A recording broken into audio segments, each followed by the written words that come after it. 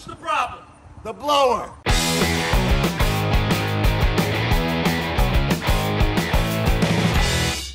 Thank God that idiot's done with his project, with his frickin' landscaping. Now I gotta clean the whole house. That shit's all over the place. It's all over the porch, the chairs, the window. Fuck, it's everywhere. It's on my fig trees, my hydrangeas, the siding of the house, the fence. if these flowers die, I'm gonna replant them on his fucking grave. It's time to break out the blower. What the fuck is that noise? Mr. Funny Man must be out there playing with his blower. This ain't so fucking funny anymore. What Honey, you gotta get him to stop.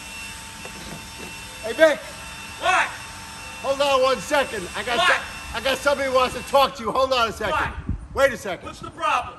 The blower. What about the blower? Eight in the morning. What are you doing? You don't like it? It's too big. What the fuck are you doing? You know I work nights. What am I doing? I'm blowing all the dust that your landscapers, when they cut the pavers, it all blew this way, all over my house. Blow this, buddy. We're sorry, pal, but shut the blower off. This is not enough, buddy. Stop, stop. What's the world?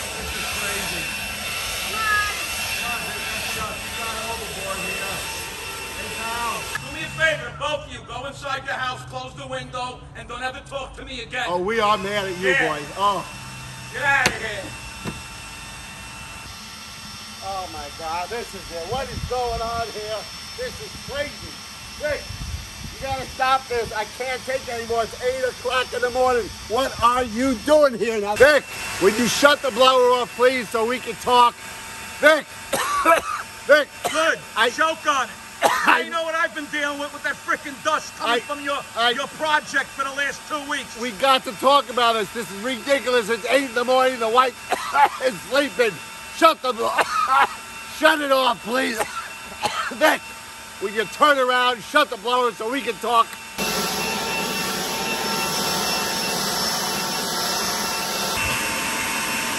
You look like Marcel Marceau.